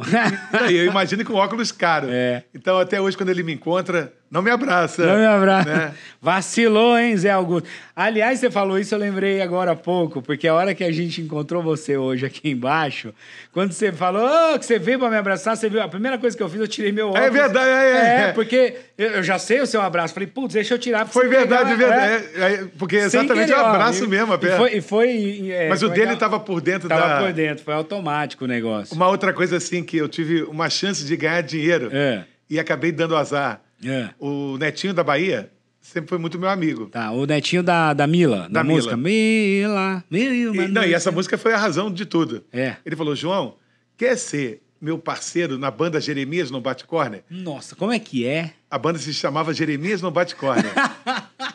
Meu, que nome louco. Por quê? Jeremias é um cara, um cara pirado da música Tá. deles. Aí eu falei, como é que eu faço? Olha, eu te dou uma participação Tá. para você cuidar da divulgação deles no, no Rio, São Paulo, Uhum. né? Porque ninguém sabe quem é. Porque o que é comum lá na Bahia? O artista tem um escritório e abre espaço para grupos. Sim. Como tinha Tchan, Asa de Águia, Tá. tinham donos, né? É. O Cheiro de Amor. Aí ele falou, eu vou ser o dono do Jeremias e te dou uma participação. Legal. Aí ele foi fazer um show em, Ara- em Aracaju. Tá. Foi fazer um show. E esse gravar um- Jeremias Ba- Não, foi fazer um show sozinho. Ele resolveu testar a música que seria a música do Jeremias para se lançar. Tá. Ele falou: vou cantar para ver qual vai ser a reação da galera. Porque esse Jeremias Bate Corner, é, ele faria parte do grupo ou não? Não, não, ele era Ele o só- dono. ele só seria o dono. Dono da marca. Eram outros artistas. Como tinha dono do Tá, Tchan, sim, dono da tá. banda Cheiro de Amor. Entendi. Aí ele falou: vou cantar a música do Jeremias para sentir a reação Pra da sentir galera. a reação da galera. Quando ele cantou, era Mila. Meu Deus. E a isso. casa foi abaixo. Eu imagino. Ele, a casa enlouqueceu. Tá. Ele percebeu que aquela música seria um estrondo. Seria um estrondo. Ele resolveu gravar então. Olha. Quando ele decidiu gravar, o que, que ele fez? É. Arrumou a inimizade do Jeremias. Do Jeremias. Porque era a música que eles estavam guardando para estourar. Aí o Jeremias falou assim: a gente vai sair. Porque você não era o que a gente, a gente queria. Estava guardando essa música para estourar, você foi E pegou. e pegou. Aí ele falou: vocês podem sair, mas vão ter que colocar outro nome, porque o nome Jeremias é meu. Não, Ah. tudo bem. Aí falou: João, acabou a parceria, não sei o É. quê, né? Eu ia ganhar 20%. Oh, meu Deus, olha isso. A banda foi para outro escritório e mudou de nome. É. Né? Sabe que nome virou? Qual? Jamil e Uma Noite. Mentira! Olha isso! Jamil e Uma Noite. E a Mano música. Góes, e a é um compositor de Mila. E a música era de quem que compôs? Mano Góes. E, é, mas é da, da banda? Do, do, Era do, da- era do, do Jamil. Era, não, era do Jeremias que o Netinho cantou. e virou Jamil. Não, aí eles ficaram com raiva, porque o Netinho cantou a música Sim, deles. sim, lógico. Só que eles não podiam usar o nome Jeremias. Meu Deus. Pertencia E virou Jamil e uma Jamil uma noite. Quer dizer, o empresário depois ficou podre de rico. Ficou, E é. eu, por causa de Mila, não ganhei nada. Não é? Meu, que sacanagem, João. Mas, Mas são- há, há várias histórias, né, João? Não, eu nunca tive muita sorte. para Ganhar dinheiro nunca foi uma coisa... Eu já percebi. Aliás, eu quero que você conte uma outra história aqui. Antes disso, ó, gente, seguinte, preciso dar um recado aqui.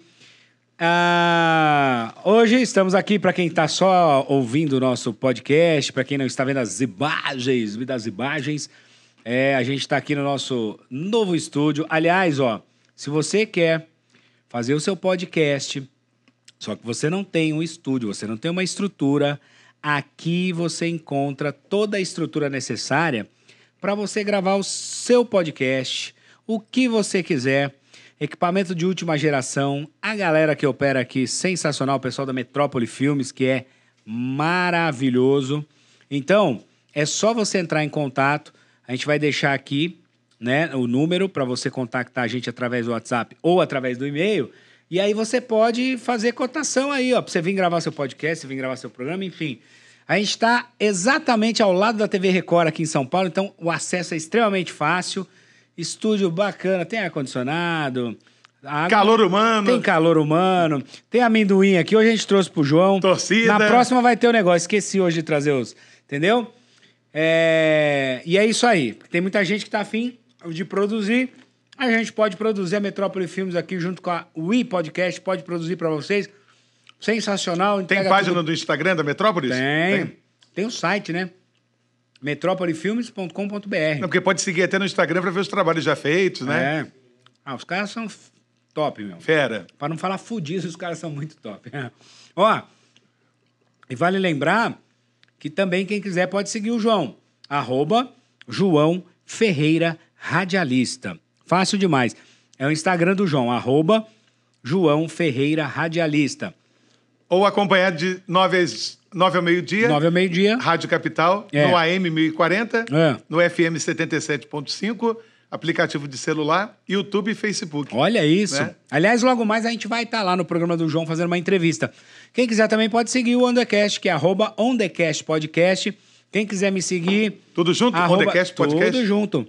Arroba Moreto Rogério, Moreto com dois T's. Ah, eu lembrei de uma coisa, João. Do quê? Eu sei que você é muito amigo do Amado Batista, não é? Grande Amado. Não, eu faço parte da biografia Porque do Amado. Quando você falou de negócio de ganhar dinheiro, eu lembrei disso. Conta pra gente. Não, o eu- quando eu me mudei pra cá, eu vim praticamente com uma mão na frente e outra atrás, Aham. né? Que eu tava recém-casado. O que eu tinha, tinha que deixar no Rio com a minha mulher. É. E aí eu cheguei e fui morar na Rua das Palmeiras. Na primeira eu morei num hotel, depois eu aluguei um apartamento na Rua das Palmeiras. E eu tinha um colchonete, eu tinha um colchonete, eu tinha uma geladeirinha pequena, Ó. uma televisãozinha e um armário, mais nada. Mais nada. Aí alguém comentou com o Amado, Hum. né? Amado, o João tá morando aqui do lado, mas não tem nada, nada no apartamento dele. É. Ele falou, é, nada, nada. Tá, ele me chamou e falou assim, eu vou fazer um show numa casa chamada Gigantão em Sapopemba. Você vai pegar a, a renda desse show, deve dar um, seria hoje uns 15 mil. Tá. Você vai pegar a renda desse show e vai comprar micro-ondas, geladeira, sofá, Ó, que tudo bacana. que você Vai precisar. mobiliar a casa inteira. Eu falei, verdade? Não, eu já ajudei muita gente, quero te ajudar porque eu sei que você merece. Que legal. Aí eu fui na- nas Casas Bahia É. da Xavier de Toledo, É. ali em frente ao Teatro Municipal. Ok. Chamei um vendedor falei, olha, eu vou reservar Que e legal. volto na segunda-feira para pagar. Pra pagar. Mas você já deixa reservado. Aí escolhi Ah. um sofá, micro-ondas, Micro- geladeira, pá, pá. geladeira, tudo, ó. O cara não acreditou. Felizão, né? Falou, você vai levar isso, eu só não vou te pagar agora, porque eu não tenho dinheiro agora. Eu vou ter no sábado à noite e na segunda-feira eu venho te pagar à vista. Que bacana. Aí fomos pro show. De repente eu tô no palco. E agora, no gigantão, contagem regressiva. 9, 8, 7. Parece um cara de escopeta Ô, louco. no meio do salão apontado pra mim. Aí eu só consegui falar assim: não atira não que o alvo é fácil. Aí ficou aquele negócio assim, todo mundo assustado, aquela coisa. Aí o. o eu falei, meu Deus, o que está acontecendo? Aí o amado sentiu que estava rolando um negócio. Porque eu parei de contar, Tá.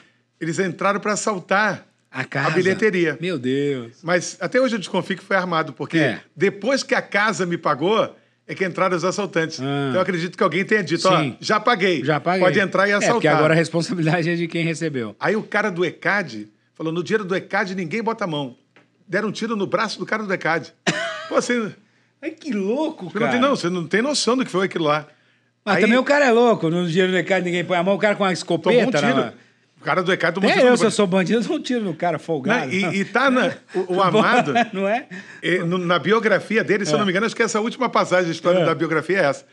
Aí o cara, o bandido me pega e fala: vamos lá pra trás. É. Aí levou a gente, chegou lá atrás e falou assim: Seu amado, desculpe aí o mal entendido, não sei o quê, mas é. Nós vamos ter que levar o senhor e o gordinho e colocar vocês na mala do carro. Ah. Aí o amado falou assim: Eu e o João na mala do carro? Se é pra me matar, mata aqui mesmo. Mata aqui, né? Imagina, como que ia caber, né? Não, eu Cara, e roubaram o dinheiro. Levaram o dinheiro todo. E aí? Aí o, o amado, depois que acalmou, aí passou mais uma hora. Sim. Aí o amado percebeu que o público ficou. Ele fez o show? Aí ele falou assim: João, você vai me perdoar.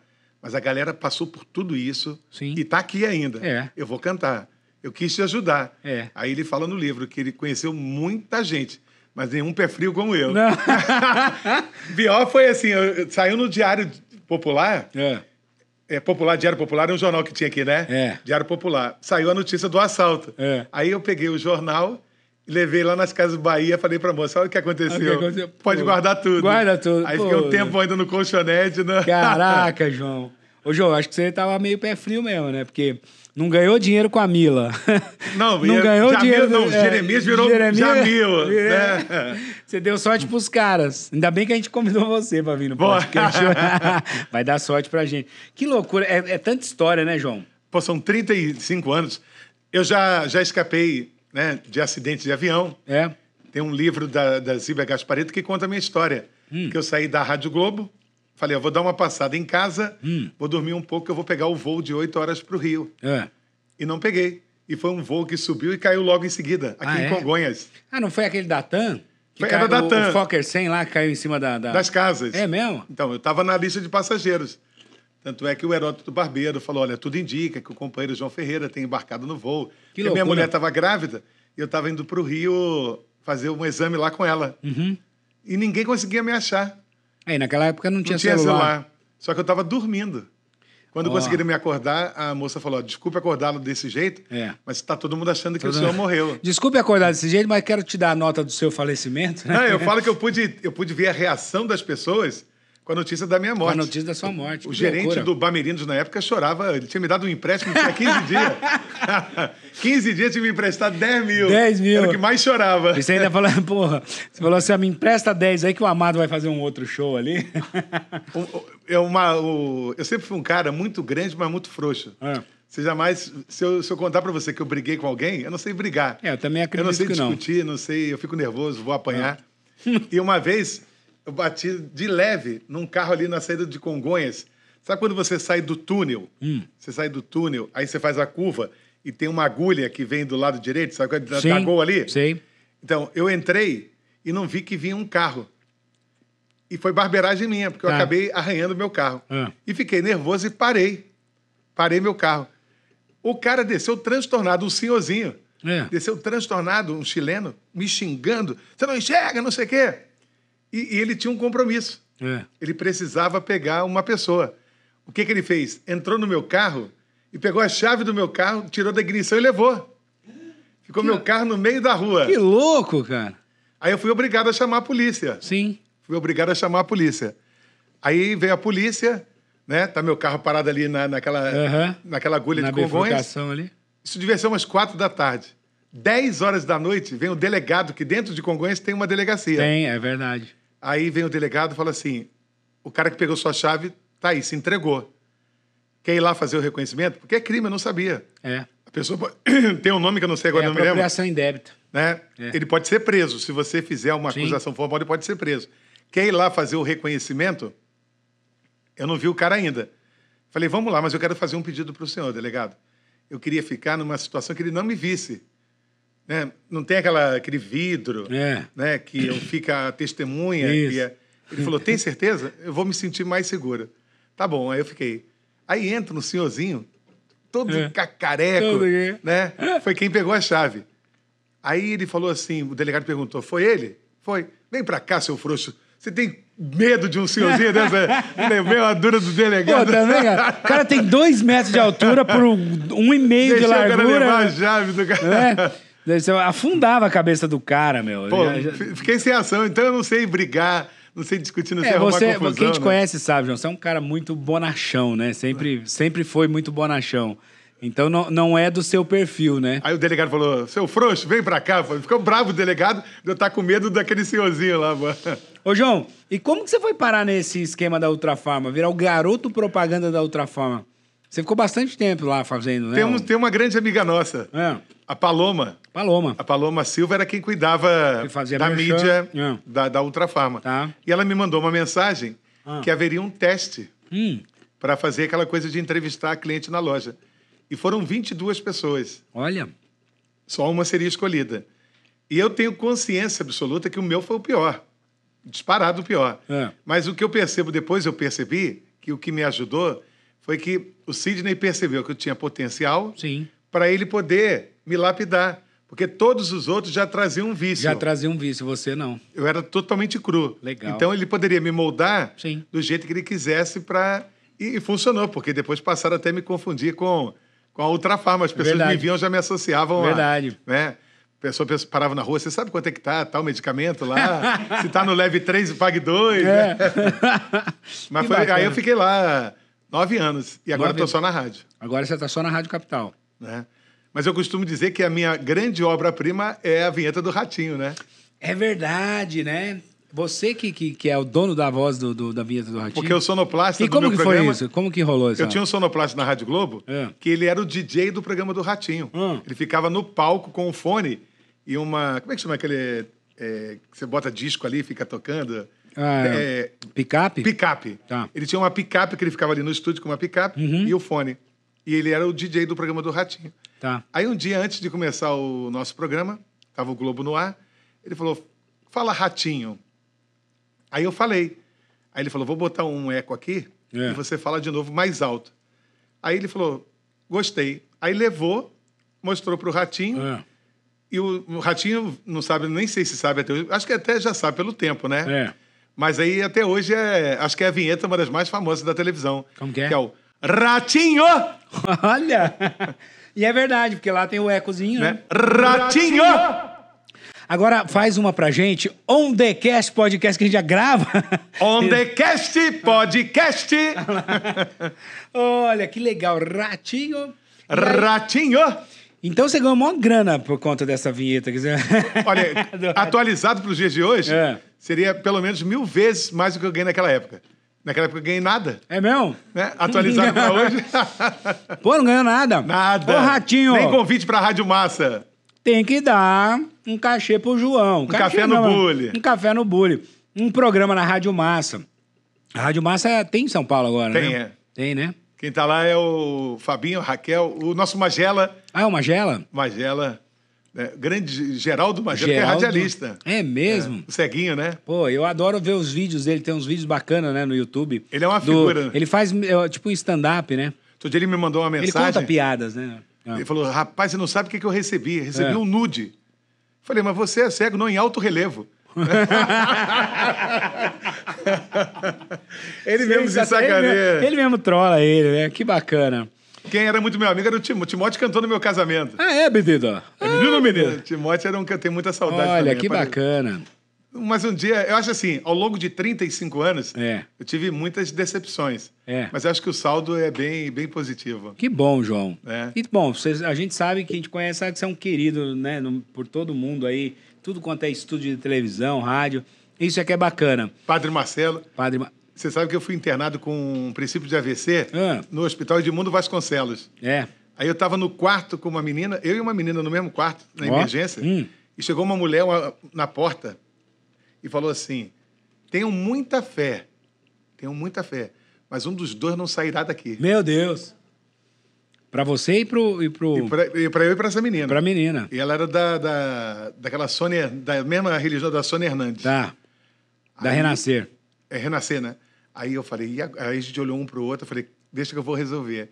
Aí o padre Marcelo trabalhava comigo nessa época na Rádio Globo, Hum. foi escondido lá, fez uma oração É? e os dois saíram. Eu e É eu. mesmo? eu Deixa que eu vou resolver. Aí tá o Né? João até hoje lá. um direto Que loucura, né? Mas, João? você imagina, você tá numa UTI, Mas alguém é- fala, Fica, ó, fiquem calmos, tenham fé, mas um dos dois não vai voltar para casa. Que loucura. Fica onde tá. Que mulher filha da mãe, cara. Às vezes fez isso de sacanagem, né? Só pra, pra pilhar, né? Não é? Vagabundo. É. Ai, que legal. Gente, sempre conversar com o João é muito bacana, é sensacional. Claro que o João vai voltar outras vezes aqui, que a gente tem muito mais assunto, né? Cada hora tem, tem, tem, tem várias histórias, isso que é bacana. E, ó, mais uma vez aqui, quero deixar para vocês, quem quiser seguir o João, o Instagram dele é arroba João Ferreira Radialista. Segue lá, vale a pena. Quem quiser ouvir o programa do João, então ele é todo, ele é de segunda a sexta, João? De segunda a sexta, de nove. Eu, depois de tantos e tantos pecados na vida, É. né, acharam por bem me colocar entre dois padres. Porque eu começo com o padre Marcelo e termino com o padre Juarez. Aí. Então não tem pecado. Não tem pecado. Na- o programa se chama Na Casa do Senhor Não Existe Satanás. Aí, ó. que é uma versão melhorada de Mila que depois que foi pra. Hein? Essa música também bombou, né? Então. É. Só não tô- tem culinária. Só não tem culinária, tá bom. É só ouvir lá o programa do João na Rádio Capital, de segunda a sexta, das oito, De nove ao meio-dia. de nove ao meio-dia. Olha, eu- querer- com o alemão, hein? Eu querendo fazer você acordar cedo, Mais né, cedo. De nove ao meio-dia. Quem sabe logo mais a gente vai estar lá. Ó, quero agradecer o pessoal da Metrópole Filmes aqui, sensacional. Rafa, Bruno, Thiago. Quem quiser, pode acessar lá metrópolifilmes.com.br, é legal. Contratar os caras, fazer super produções. Ah, quem quiser, segue a gente, ó. Segue a gente lá, On The Cast Podcast. Arroba Podcast. Compartilha com os amigos, dá essa força aí. Porque é isso, né? Toda vez que a gente tá começando um projeto, tem que contar com os amigos pra divulgar. Opa! Aí depois que fica famoso, todo mundo vem, ah, que não sei o quê, mas também nem compartilhou Você o sabe que negócio. tem né? artista que lembra. É. Quem é que no início de carreira não quis dar força pra ele, depois ele, É. quando fica famoso, não vai. Ah, eu não. Eu sou uma pessoa, João, que de verdade, eu não guardo rancor. Mas eu tenho memória. Memória Eu seletiva. tenho, eu tenho memória. Eu vou lembrar depois quem ajudou. E mais, ó, quem tiver afim aí também, pode entrar em contato com a gente, um apoio, um patrocínio, mandar um pix. Manda um pix aí pra gente, velho. Qualquer valor. Cinco reais, dez reais, quinze reais, pra ajudar a gente, ó, né? Eu acho que Banca- tem valor mínimo, não tem? Pagar aluguel. Não, acho que não. que 10 reais é o mínimo. Não, o pix é um real. Com certeza? É, você pode mandar um real que vai. Mas não vai mandar um real. mandar- digitou, Pô, né? Um real é sacanagem. Tem a- vamos mandar. Se, se um milhão de pessoas mandarem um real, tá ótimo, né? Olha, quer- posso mandar um abraço? Quantos Eu quero, eu quero quiser? Hum. terminar mandando um abraço. Monteiro Lobato dizia que um país se faz com homens e livros. Olha, né? muito Então eu bem. quero mandar um grande abraço ao poeta, o grande poeta brasileiro Moreto, É? fazer uma leitura de um dos seus mais famosos poemas. ah, é? Fala. Assistindo o Masterchef, preparei meu omelete. Para mim, ele é brilhante. Assim conquistei galete. Moreto, um beijo, sucesso. Ainda bem que foi isso. Eu, eu tava imaginando outra coisa. Mas, ó. Tchau, vai- até, até dezembro, se Deus quiser. João, muito obrigado pela sua presença. Valeu, gente! Você vai voltar outra vez, a gente vai, porque futuramente você vai ver que esse estúdio vai estar muito mais top. Aliás, Isso aqui, eu passei o programa Também, aqui né? com É. a toalhinha É. para homenagear Tim Maia, que É. também tinha uma toalha. Sim. E um cara que é uma, uma pessoa que eu tenho um carinho muito grande, que também só trabalha com uma toalhinha. É. Geraldo Luiz. Geraldo Então, Luiz. Na é verdade, eu mesmo? nem precisava, mas eu fiz essa homenagem hoje. Olha que legal, João. É mesmo, não sabia dessa, não. Os dois, é. Geraldo Luiz. Tem Você é amigo dele? Muito. Bom, o Tim Maia não dá mais pra você chamar ele pra vir participar. É. aqui. Mas faça o convite pro Geraldo Luiz, então, pra ele vir gravar o Não, podcast hoje é mais fácil até o, É. o Tim Maia comparecer do que antes. É, né? Hoje basta um centro. Vai- Eu vou chamar a Maria Itália aqui É, pra, é. pra baixar o- alguma coisa aqui. Ó, muito obrigado pra você que ouviu a gente. Muito obrigado pra você que assistiu, que vai compartilhar esse vídeo. E logo mais, semana que vem, a gente tá aí com mais um bate-papo maneiro aqui no On The Cast Podcast. Valeu, um beijo, fiquem com Deus. E é isso aí. É nóis.